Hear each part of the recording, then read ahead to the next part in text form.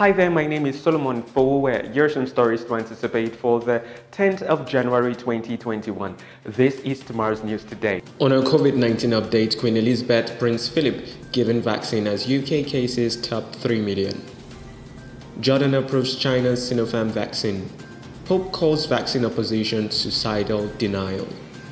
Governors to join Buhari Osinbajo to take COVID-19 vaccine on live TV.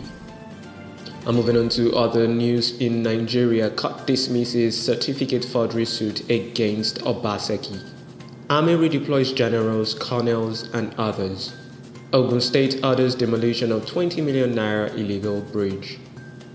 Seven feared dead as Amotekun herdsmen clash in Oyo State.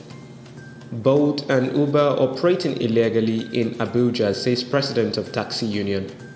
NASU and SSANU to commence three-day protest. I'm moving on to the international scene. 62 feared dead as Indonesian plane crashes after takeoff. Increasingly isolated Donald Trump threatened with second impeachment. And in sports, West Ham's David Moyes urges people not to pick on footballers over virus breaches. Schalke 04 avoid Bundesliga longest winless run with win over Hoffenheim. Get details of these and more on Guardian.ng or pick up a copy of the Guardian newspapers from the newsstands tomorrow. Do not forget to connect with us on social media. That's Facebook, Twitter, YouTube, and Instagram at Guardian Nigeria. Thank you so much for watching. My name is Solomon Fowowe.